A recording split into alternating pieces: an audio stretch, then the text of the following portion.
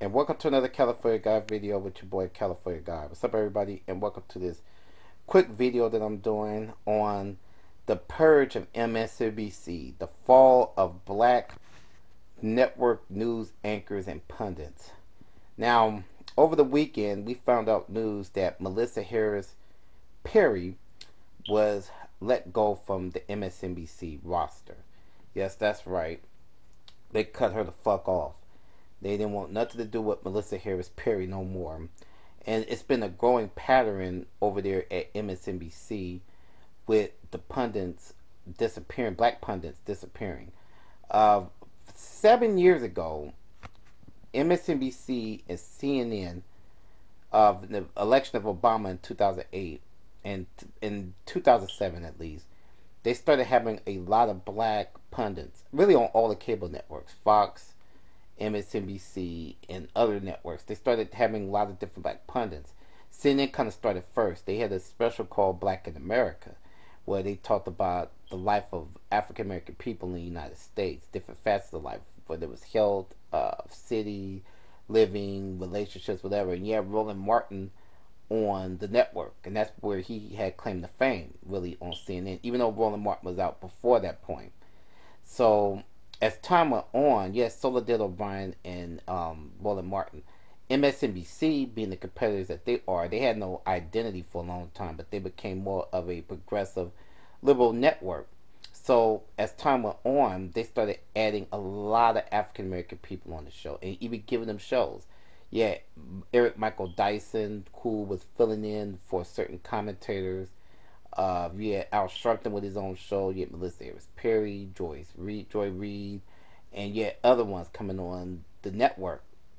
And they were providing a lot of commentary on the president, President Obama.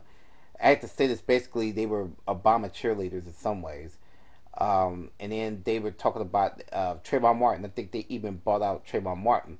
Now, there's a couple of reasons why Melissa Harris Perry and and the rest of them were let go number one, the election of Obama is coming to an end this year. This is his final year in office, so his term is ending. You're going to get another president, and black people are not socially important no more. We was only important for, uh, I believe, this is just a conspiracy theory, but we were only important enough because Obama was running for president, being the first African American president, and yet a, a big abundance of black people that was supporting him, and so now they figured that it's going back to pre 2008, like Bush years, Clinton years, and any other years, where okay, it's a Caucasian president, and so black people are just a minority. You know, we really don't matter in this country.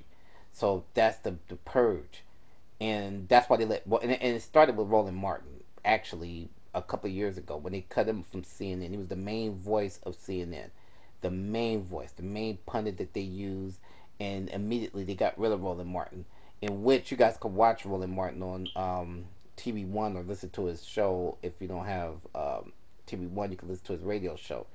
But they cut uh, him off first.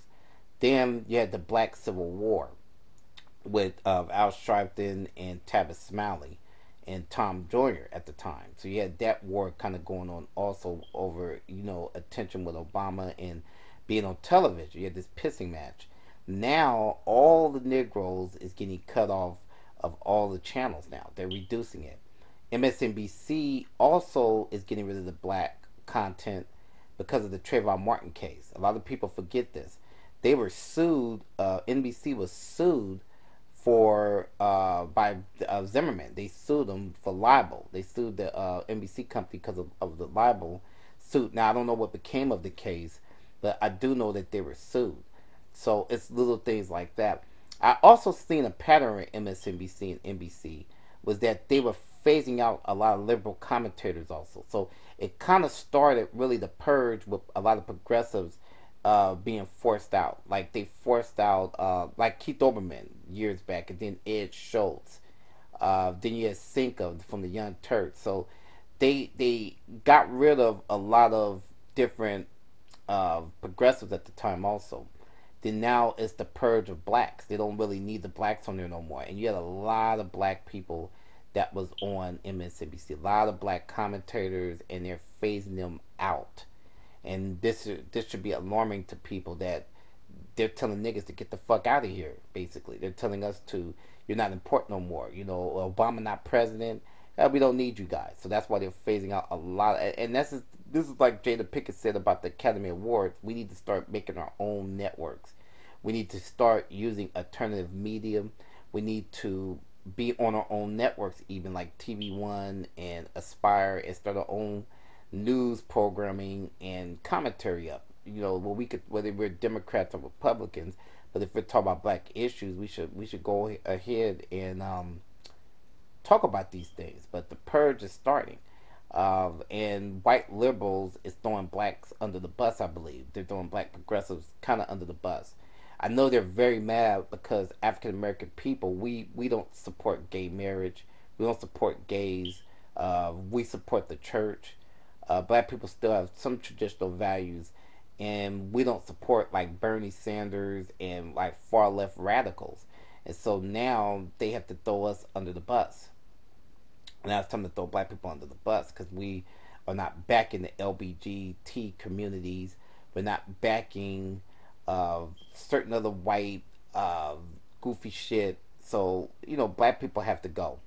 So this is the the, the purge is starting when it comes to African Americans. They're going to try to phase in another uh, minority group to try to back, excuse me, to try to bypass African American people. So I thought to do this video and have this discussion. Uh, like and share this video, and let's talk about these issues, people. Peace.